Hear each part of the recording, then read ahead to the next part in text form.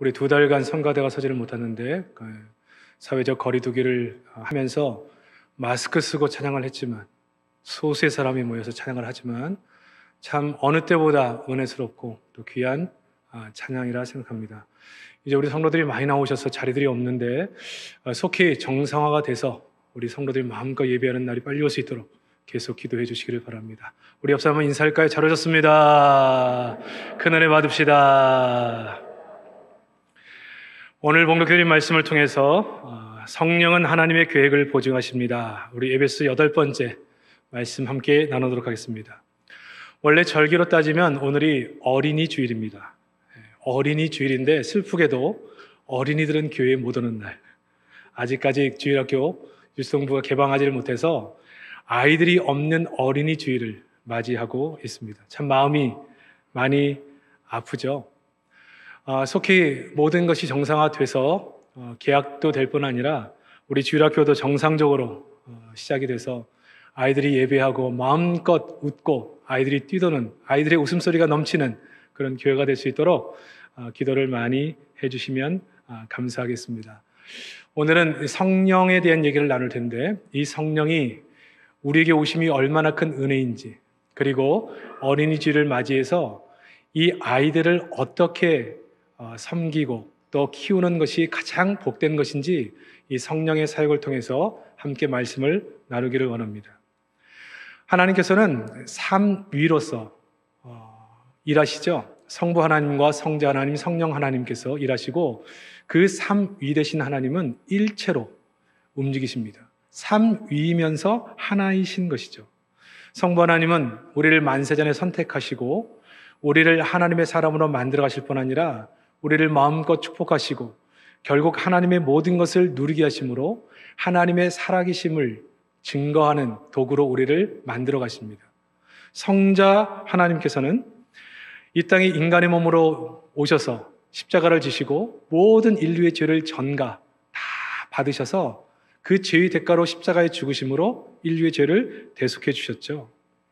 그래서 에베소 1장 1절부터 12절 사이 우리가 다뤘던 부분들은 성부 하나님의 사역과 성자 하나님의 사역이 잘 드러나 있습니다. 명확하죠?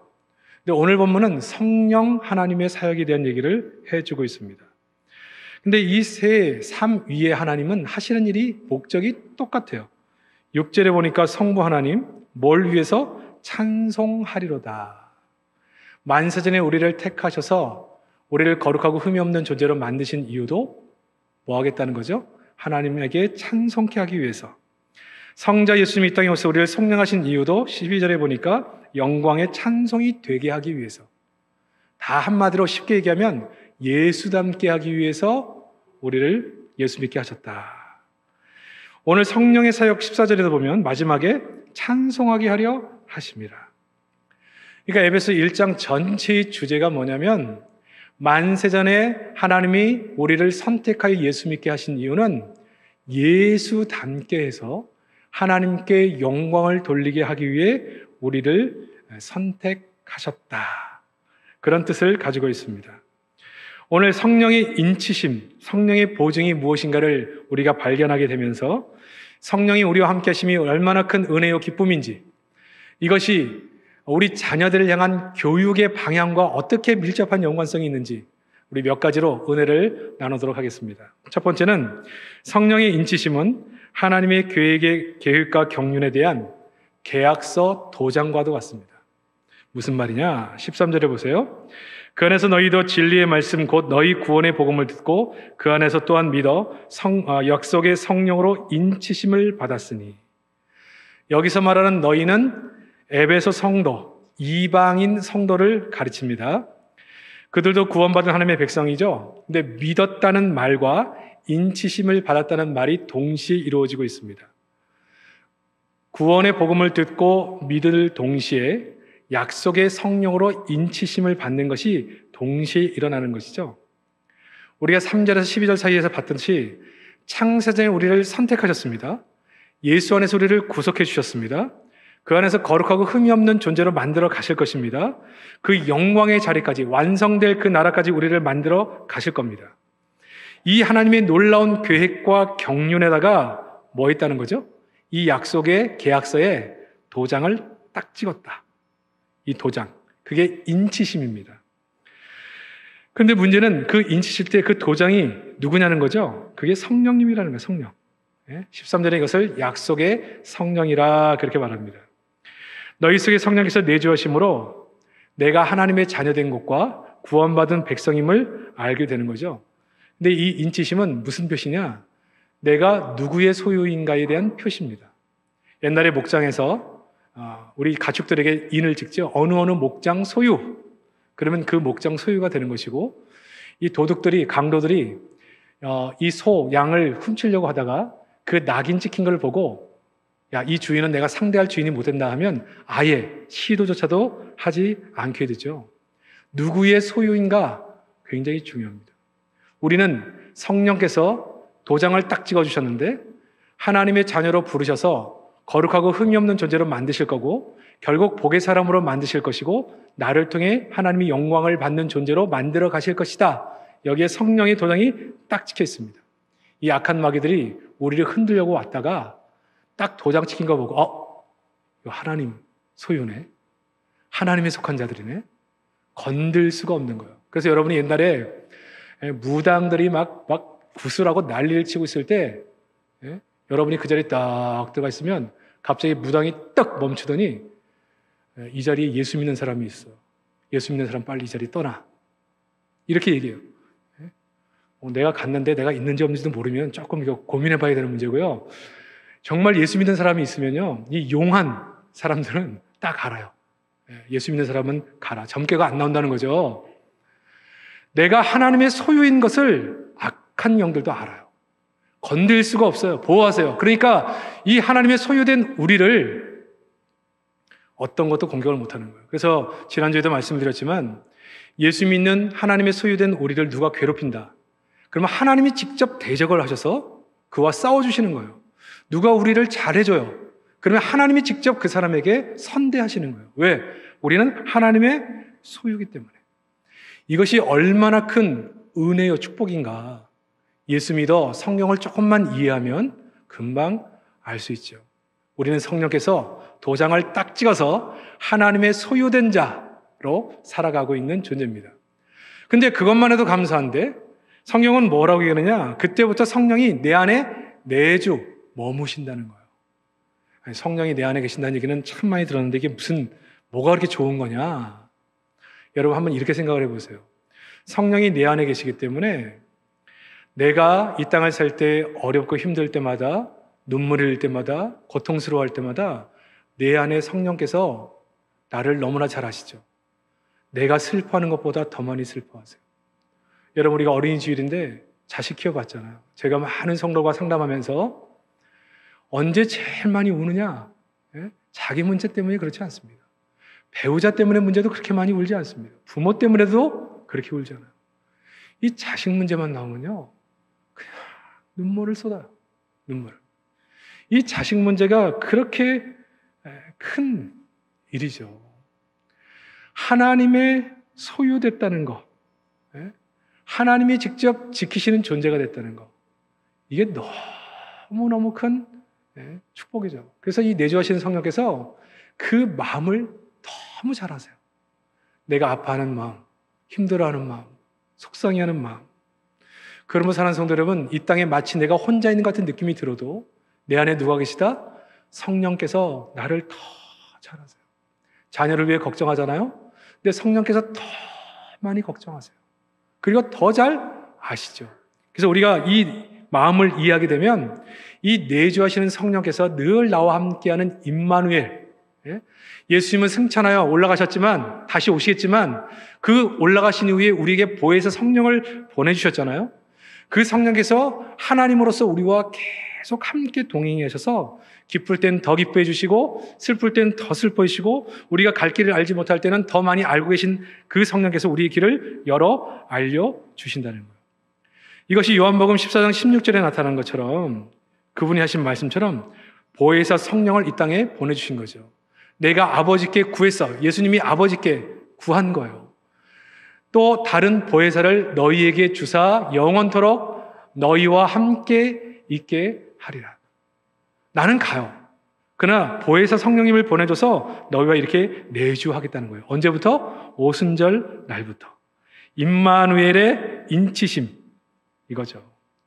그래서 우리가 아무리 미워도 아무리 나쁜 짓을 해도 예수 믿은 성도는 이미 도장이 딱 찍혀 있었기 때문에 우리의 구원을 취소시킬 수가 없는 거예요. 어? 후회할 수가 없는 거예요. 예? 이를 위해 성령께서 도장으로 계약서에 딱 도장을 찍었기 때문에 그렇습니다. 그러면 이렇게 인쳐주신 결과가 뭘까요? 로마서 8장 15절, 16절을 보면 16절을 먼저 보면요. 성령이 친히 우리 영으로 더불어 우리가 하나님의 자녀인 것을 증거하시나니. 내가 구원받은 백성인 게 확신이 드는 것이 내 안에 있는 성령께서 주시는 사역. 야, 내가 하나님의 자녀지. 그래. 하나님의 백성이지. 그리고 15절을 보세요. 너희는 다시 무서워하는 종의 영을 받지 아니하고 양자 영을 받았으므로 우리가 아빠 아버지라고 부르짖느니라. 그때 하나님이 나의 아버지로 아, 느껴지는 거예요. 저는 이 하나님을 아버지라고 부르는 것은 남다르죠. 저는 아버지 얼굴을 몰라요. 제가 100일 때 돌아가셨기 때문에 사진으로만 봤어요. 예, 잘생기셨어요. 아주. 예, 아주 우리 그 어머, 그 어머니 형제분들도 예, 아주 인물이 너랑은 비교할 수가 없다. 맨날 나한테 항상 그랬어요. 아, 멋, 멋있는 분이셨다 그래요. 근데 저는 기억이 없어요. 100일 뭐때 기억이 나면은 천재지. 기억이 안 나요. 그런데 예수를 믿고 나서 이 아버지가 안 계시는 것 때문에 늘 마음에 어, 힘듦이 있었고 늘 어디 가면 옛날에 어른들은 왜 그런 걸 자꾸 물어보시는지 몰라요. 네 아버지 뭐 하시냐. 맨날 그런 걸 물어보세요. 참 난 이 얘기하기가 예, 곤란했었는데 교회를 가고 나니까 예, 우리 주일학교 선생님들이 저를 붙잡고 놓고 이제부터 너의 아빠는 하나님이시다. 처음 이걸 무슨 얘기인지 잘 몰랐어요. 근데 초등학교 6학년 때 예수를 인격적으로 딱 만나고 나서 그때 내 마음속에 울려 퍼지는 어, 소망, 소원, 그리고 조심스럽게 하나님을 아버지라고 한 번도 불러보지 못한 아버지, 아빠라는 이름을 불러 보았습니다. 그러니까 이 아버지라고 부르는 거, 아빠, 아버지라고 부르는 이 말은 그냥 아빠 이렇게 부르는 게 아니라 이 까마귀가 깍깍 소리를 지른 것 같은 그냥 내가 하나님의 자녀된 그 감격과 기쁨을 가지고 뜨거운 가슴으로 부르는 아버지라고 하는 고백인 것이죠. 하나님이 나의 아버지 되시니까 그때부터 걱정 근심이 없어요. 여러분, 이 땅에 내가 차를 개인적인 차를 갖지 못해도 우리 아버지는 부자. 우리 아버지가 재벌인데 집에 스포츠카가 다섯 개가 있어. 계절마다 색깔별로. 근데 오늘 내가 버스 타고 가요. 무슨 일이 있어서. 다른 사람이 차 타고 다니는 것 때문에 부러워하겠습니까? 부러워하지 않아요. 왜? 집에 가면 다 있으니까. 좋은 차들이 있으니까. 성도의 삶은 성령께서 내가 하나님의 자녀인 것을 딱 인쳐주셔서 내가 하나님을 아버지라고 부르는 순간 이걸 믿고 사는 것입니다.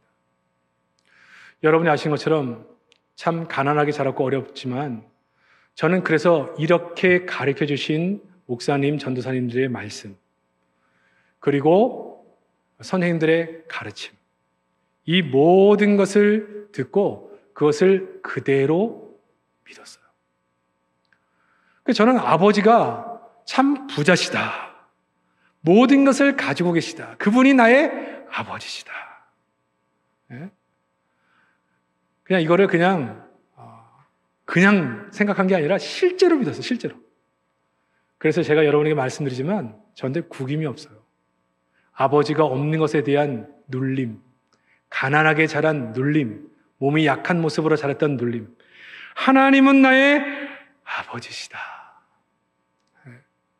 얼마나 얼마나 감사하고 좋은지. 이거를 성령께서 도장을 딱 찍어주셨어요. 변하지 않는 약속으로, 하나님의 자녀로.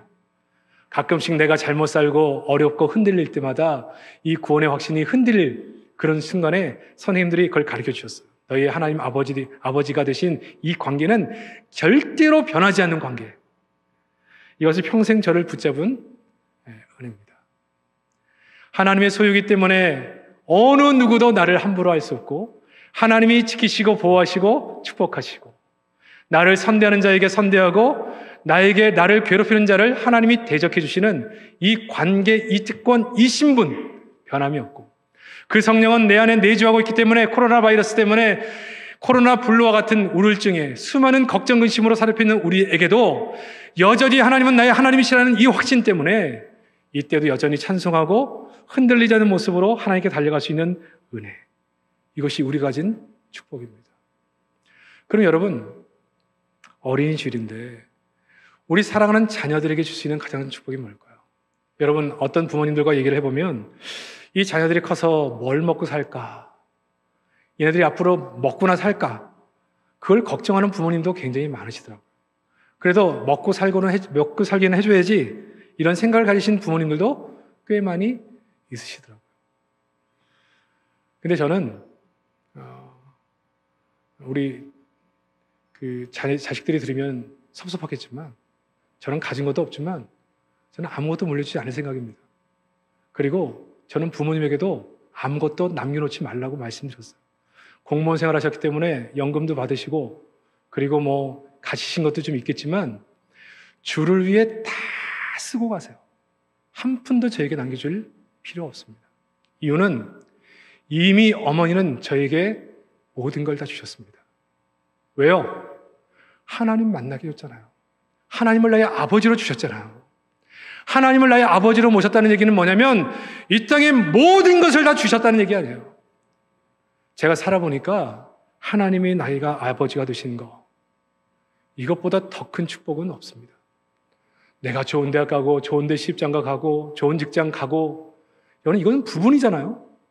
내가 하나님을 나의 아버지로 모시고 모든 것을 소유한 자로 힘들고 어려울 때마다 내주하시는 성령님이 나를 위로하시고 힘주시고 갈 길을 보여주시는 이 놀라운 은혜의 신분 이것보다 더 큰 축복은 없더라고요. 제 소원은 내 아들과 딸에게 이 하나님을 그들이 인격적으로 만나 그들의 하나님으로 아빠라고 부를 수 있는 관계로 물려주는 것 이것이 저의 꿈이에요. 더 좋은 것 줄 게 별로 없어요.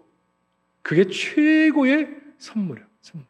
사랑하는 성도 여러분, 저희 교회가 우리 주일학교 아이들을 가르칠 때 좋은 환경, 좋은 시설, 좋은 시스템 다 좋지만 그들의 평생 붙잡고 살 수 있는 오직 하나님이 나의 아버지신 것을 이거 하나 물려줄 수 있는 우리 교회가 돼서 우리 덕천제일교회를 통해 수많은 다음 세들이 길러지는 복된 교회가 되기를 주의 이름으로 축복합니다. 두 번째는 성령의 인치심은 우리를 찬송하게 하기 위해서입니다. 이 말씀을 보면서도 굉장히 많은 은혜를 제가 받았는데요. 인치심의 목적은 14절에 읽은 것처럼 이는 우리 기업의 보증이 되사 그 얻으신 것을 속량하시고 그의 영광을 찬송하게 하려 하심이라. 우리가 찬송하며 사는 것이고 우리의 삶이 찬송하는 것이에요. 이 보증이란 것은 이 뭡니까? 어, 이 계약 어, 계약금 같은 개념입니다. 이 원어의 뜻은 우리가 3억 5천짜리 집을 하나 산다. 그러면 계약금으로 한 10% 정도 건다 그러면 한 3,500만 원 걸잖아요. 이 얘기는 3억 1,500만 원을 내면 이제 이 집이 내 것이 되는데 이제 계약을 한 겁니다. 3,500만 원 딱 계약 걸어놓고 앞으로 이제 우리 집이 될 거니까 그 집을 맨날 가보는 거죠. 야 여기다 뭘 넣고 저기다 뭘 넣고 인테리어는 뭘 하고 뭘 어떻게 해서 어떻게 하고 이런 걸 생각하는 거예요. 가서 청소도 좀 해보고. 예? 근데 이걸 쉬운 얘기로 하면 이렇게 계약금을 걸었는데 이 계약금은 성령, 보증. 앞으로 너희 집이 될 거야. 보증을 얘기하는 것이고 이 계약금에 대해서 잔금을 다 치르실 분은 하나님이세요. 예, 이래도 이해가 잘 안 되시죠? 더 쉬운 얘기를 해볼게요. 성령이 하는 역할을 얘기하는 겁니다. 저희가 어릴 때 이 고물장수들이 많았어요. 고물장수.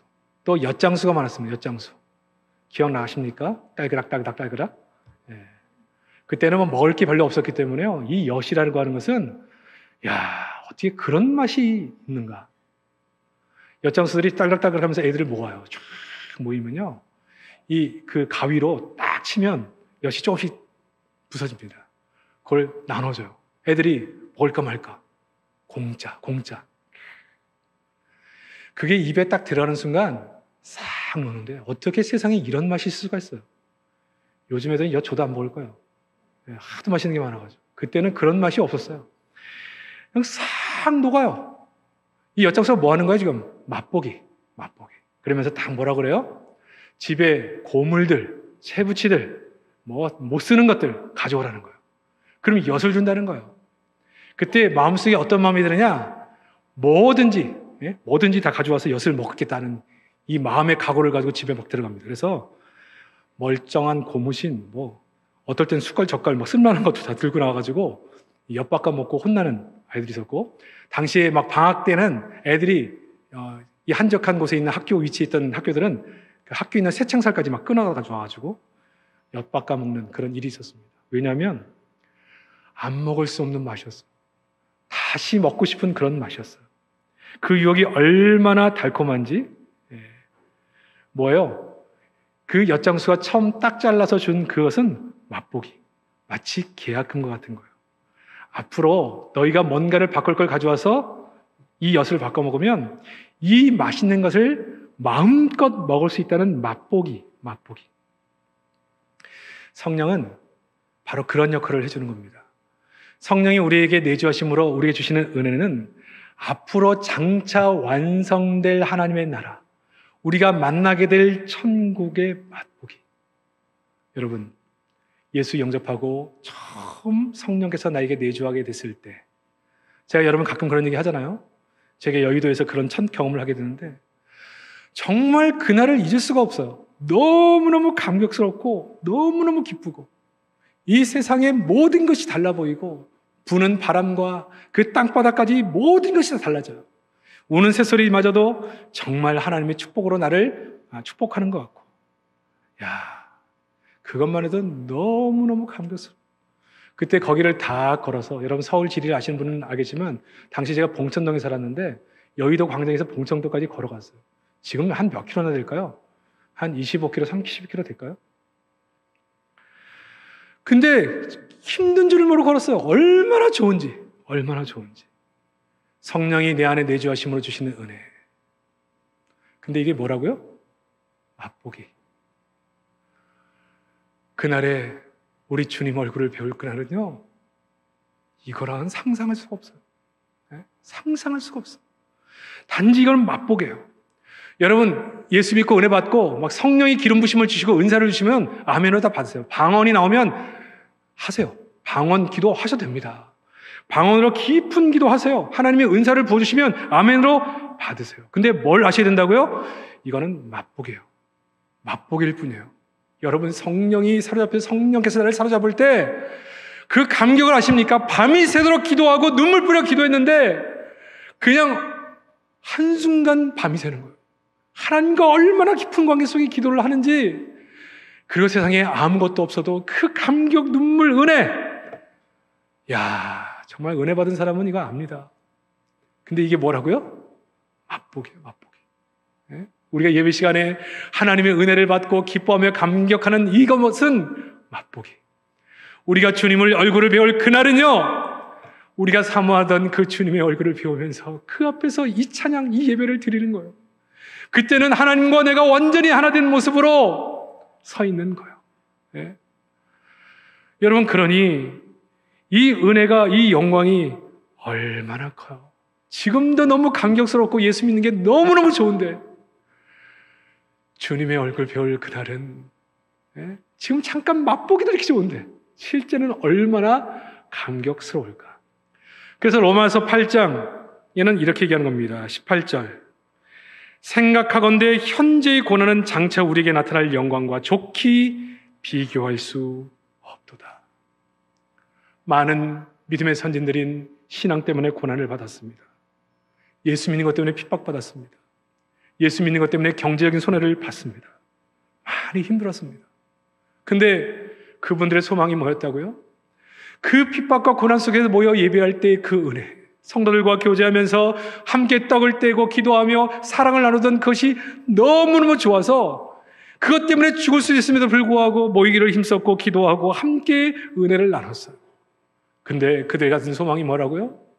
우리가 이렇게 예수 믿다가 순교하는 그 순간이 와도 그 고난이 아무리 커도 우리가 주님을 만나 배운 날 그 영광과는 비교할 수가 없다.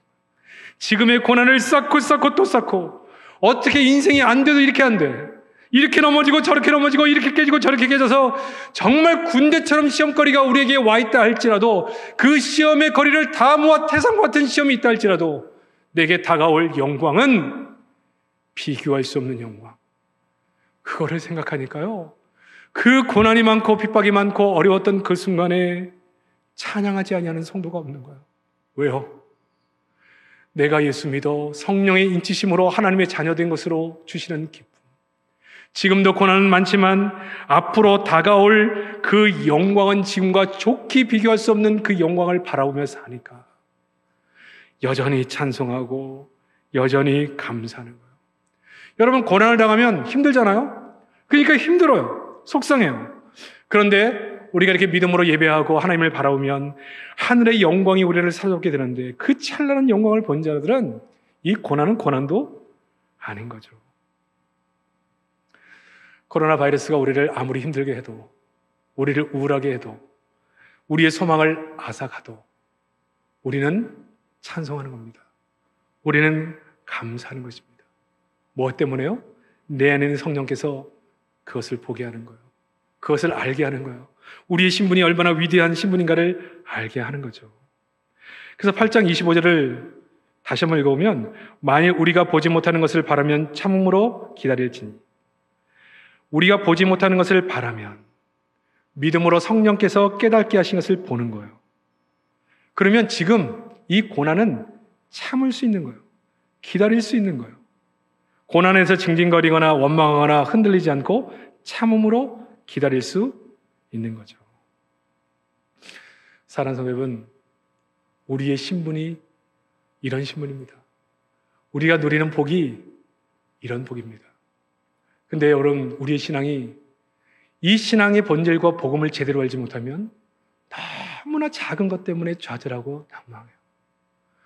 고3이 돼서 시험을 치르고 자신이 갈 대학이 없다는 것을 알게 될 때, 경쟁에서 밀려 취업이 제대로 되지 않을 때, 때를 맞춰 어, 결혼을 하지 못할 때, 때가 되어 자녀를 낳지 못할 때, 이것이 마치 인생이 끝난 것처럼 힘들어하고 고통스러워 아파하고, 신앙이 예수 믿어서 내가 좀 더 소유가 늘고 좋은 것을 얻는 것, 이 정도 수준에서 머물러 있다면 신앙의 억만문의 일도 아직 잘 모르는 거라고 볼 수 있어요. 여러분, 우리의 신앙은요, 정말 우리 인생을 송두리째 바꿀 만한 놀라운 능력이요, 복음입니다. 네? 성령께서 우리에게 인치심으로 하나님의 자녀가 되고 하나님의 모든 것을 누린 자로서 늘 깨닫게 하고 알게 하고 경험케 하고 감사하고 기뻐하게 하는 것이 성령의 사역이에요. 그러니까 얼마나 중요해요. 내가 하나님의 자녀. 내가 사면의 우겨쌈을 당하여 고통과 아픔 속에 있을 때라도 하나님이 나의 보호자가 되시고 나를 지키신다는 것을 깨닫게 하신 게 누구예요? 그게 성령이에요. 눈물 겪고 너무나 수많은 고난이 겹겹겹으로 와가지고 일어날 힘이 없을 때 내게 손을 내미시고 내 옆에 누군가 계셔서 나를 끌어안아 주시다는 느낌을 주시는 분이 누구예요? 우리 성령님이세요. 근데 그 성령님과 함께 동행하는 그 시간이 너무 감격스럽고 너무너무 기쁘죠. 그래서 우리는 이 코로나 바이러스가 지나가고 있는 이 시기도 우리는 소망 가운데 하나님을 바라보는 거예요. 하나님께서 이 문제에 답을 주시면 답이 나오는 거예요. 하나님께서 회복시키시면 회복하는 거예요. 하나님께서 치유하시면 치유가 되는 거예요. 이게 하나님의 은혜밖에 없어요. 그래서 올해 기도 11주 주제를 치유와 회복으로 잡은 거예요. 이 하늘의 평강, 하나님이 주시는 평강이죠. 그래서 우리는 영광과 찬미를 드리는 성도가 되는 거예요. 언제도 이렇게 코로나 바이러스 때문에 어렵고 힘든 시간 속에서도 우리는 하나님께 찬양하고 우리를 통해 하나님께 영광을 돌리게 되는 것입니다. 그런데 이 감격과 은혜로 살아가는데 이건 맛보기래 맛보기. 앞으로 주님 만날 그날 우리에게 다가올 그 영광스러움은요. 야, 정말 저는 오랜만에 우리 성가대가 이렇게 서가지고 찬양을 하는데 아, 또 눈물이 나와가지고 손났어요. 예. 제가 지난번에 그 처음 찬양, 찬양대 가 서 가지고 찬양 인도하는데 눈물을 주체할 수가 없어가지고 예배 인도가 가능할까. 그 정도였습니다.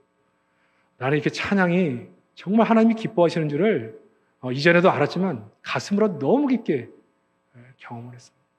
여러분들 오랜만에 우리 찬양대원들의 찬양을 들으면서 정말 하나님께서 이 찬양을 참 기뻐하시는구나 하는 것을 경험하셨을 겁니다. 근데 우리가 주님 만나는 그날, 우린 주님의 얼굴을 배우게 될 것이고, 그 앞에서 찬양하게 될 것입니다. 저는 그날만 생각해 보면요, 예? 찬양하지 못하던 자들이 어느 순간 찬양할 수 있는 기회가 돼서 찬양할 때 자기도 모르게 눈물이 막 흘러요. 근데 그렇게 사모하던 주님을 배웠고 그 앞에서 그 주님을 높이는 찬양을 드린다. 아, 감격하지 않은 성도가 없겠죠. 하나님이 이 땅을 심판하실 때 그 심판주와 함께 그곳에서 심판하시는 그날을 함께 목도하는 증인으로서 우리는 그 자리에 있게 될 것입니다. 이건 놀라운 은혜죠. 놀라운 감격이죠. 그래서 지금 이 순간 우리가 누리는 모든 것은 맛보기. 근데 맛보기도 너무너무 감격스러운 것입니다. 고난의 때를 지날 때 우리는 하나님이 선택하시고 우리를 거룩하고 흠이 없는 자로 만드시고 복의 사람으로 만드시고 축복하시고 지키시고 우리를 찬송하는 사람으로 만드실 것에 대해서 기억합니다. 그래서 예배 가운데 은혜 받고 주와 함께 주시는 은혜, 찬송, 기도, 말씀을 통해 주시는 은혜를 가슴에 끌어안고 한 주간 나가서 하나님을 마음껏 찬송하고 나의 삶을 통해 하나님을 드러내며 사는 것입니다. 그러면서도 늘 마음속에 뭘 생각해요? 야, 이 맛보기인데도 이렇게 좋은데. 주님 배우는 그날 얼마나 좋을까. 그러니까 성도는 살면서 싱글벙글, 싱글벙글, 싱글벙글 할 수밖에 없어요. 왜요? 성령이 매일 그것을 깨닫고 생각하게 하시니까. 성령께서 내가 어떤 존재인가, 앞으로 다가올 영광이 무엇인가를 알게 하시니까. 우리의 소원은 우리의 자녀들도 이 영광섬을 알고 이 땅을 살게 하는 것입니다. 사랑하는 성도 여러분, 자녀를 잘 키우는 것은 그들에게 경제가 안정감을 주는 것, 먹고 살게 주는 것, 그것을 뛰어넘어야 돼요. 우리 장로님 기도하셨지만 자식을 키우면서 먼저 보내신 분들도 계십니다. 정말 이것은 어떤 말로도 위로가 안 되죠. 하나님의 위로하심으로 위로가 있기를 바라고 우리 성도들 가운데 그런 분들은 그 달만 오면 그 달만이 빨리 지나가기를 기도하신다고 그래요. 마음이 많이 아파요. 그러나 우리가 한 가지 소망을 갖는 것 중에 하나는 뭐냐면 언젠가 만나겠죠. 근데 우리 사랑하는 자녀들을 기를 때 여러분 아직도 예수 못 만난 자녀가 있다면 네? 여러분 우리는 집을 물려주고 통장을 물려주는 게 앞서서 정말 이 예수님 만나게 하는 것이 너무 급해요. 이 광야 같은 인생을 살면서 정말 예수의 사람, 하나님의 사람이라고 성령의 인침을 받아야 되는데 아직도 그 확신이 없는 우리의 자녀들 이대로 내버려두고 우리가 어떻게 눈을 감아요? 예? 이런 우리의 다음 세대들을 남겨놓고 어떻게 우리가 이 교회를 물려주고 떠나요? 만들어내야 돼요. 우리가 이를 위해서 목숨 걸어야 돼요. 기도해야 돼요. 사랑으로 섬겨야 되는 거예요. 어떤 방법이라든지 간에 그들에게 하나님을 나의 아빠라고 부를 수 있는 관계를 만들어 주고 가야 되는 것입니다. 어린 주일에 그들에게 줘야 될 가장 큰 선물이 뭐냐? 이 소원을 가지고 내게 그 아이들이 계속해서 있는 한, 이 아이를 예수의 사람으로, 하나님의 사람으로 만들어내는 소원을 가지고 그 아이들을 위해 기도하고 섬기고 사랑하고 우리의 자식을 키워가는 겁니다. 그리고 이 문제가 해결되지 않은 가정들은 정말 특별 기도하면서 이 문제, 내가 눈을 감기 전까지라도 우리 자녀들이 이렇게 주 앞에 다 돌아와 예수를 인격적으로 만날 수 있도록 하는 것. 이것이 우리 자녀들에게 줄 수 있는 가장 큰 선물인 줄 알아서 우리 자녀들에게 이 놀라운 은혜와 사랑을 함께 나누고 우리의 평생도 성령과 함께 동행하는 복된 성로들이 되시기를 주의 이름으로 축복합니다.